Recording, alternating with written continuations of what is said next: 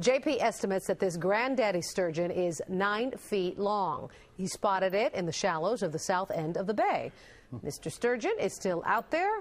JP did not want to try and tackle him. no, I suppose not. Wow, that is a huge fish. That's, That's a lot of boy. caviar, isn't it?